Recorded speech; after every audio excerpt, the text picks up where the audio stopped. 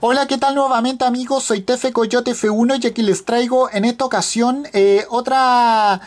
nota noticiosa más relacionada con el mundo del automóvil y bueno, porque como sabemos el icónico Toyota AE86 vuelve con formato o totalmente eléctrico o como vehículo con hidrógeno y bueno, como sabemos el coche clásico de los años 1980 de la marca automotriz multinacional japonesa Toyota llegó al Tokyo Auto Salón como un coche concept resto mod con dos sabores eh, sobre la base de un Corolla Sprinter eh, Trueno o un Levin y bueno, sin más que decir hablemos de aquello. Bueno, como sabemos, el Tokyo Auto Salón es la ocasión ideal para que eh, marcas automotrices japonesas como por ejemplo la multinacional local Toyota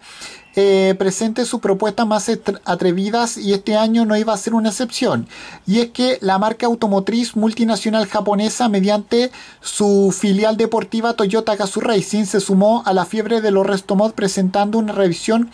de uno de sus grandes iconos convirtiendo transformado hoy en día en un coche en un coche de culto, especialmente para los fanáticos del drift y el Eurobeat. Y bueno, por supuesto se está hablando del Toyota AE86,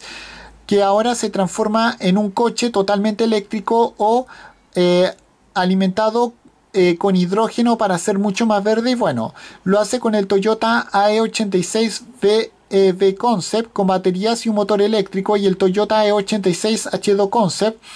que tendrá un motor de combustión interna que ahora funcionará con hidrógeno en lugar de gasolina, dos planteamientos diferentes que representan la actual estrategia multitecnología de la compañía automotriz multinacional japonesa. Y bueno,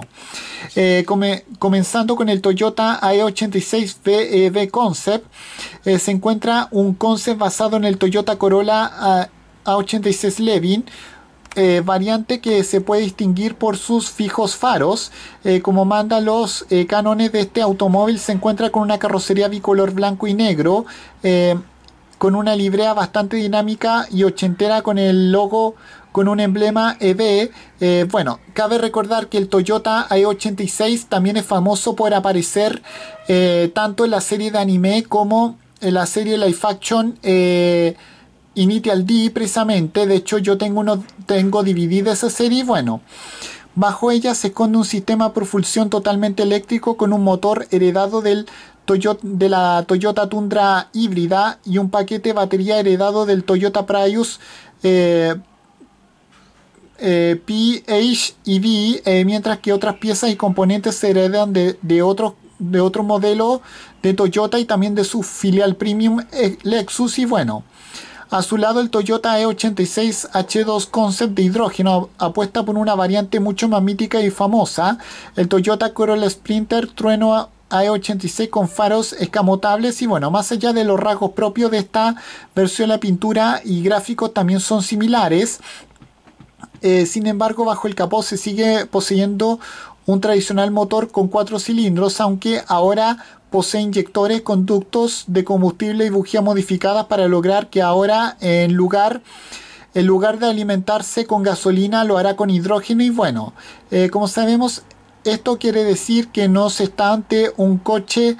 ante un coche con pila de combustible hidrógeno como es el modelo Mirai, sino que, ah, sino que ante una de aquellas tecnologías alternativas que Toyota puso ya en práctica en algunos de sus coches como el GR Yaris H2 y el Corolla H2 Concept.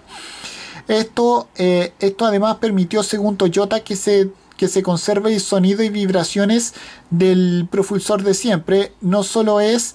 no solo eso, sino que también Toyota eh, mantuvo la presencia de la, de la, de la caja de cambio manual y, y, afirma haber respetado bastante el peso y equilibrio de este coche para dejar unas sensaciones lo más parecidas al, vehículo original y bueno, en el interior también se conservó la esencia racing del coche original no solamente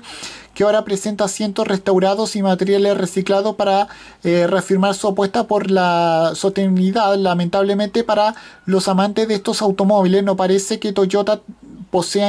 tenga intención de llevarlo a producción, así que se tendrá que seguir buscando los ya cotizados ejemplares de segunda mano de este eh, icónico automóvil japonés. Y bueno, y con esto me despido. Adiós, que me fuera. Chao.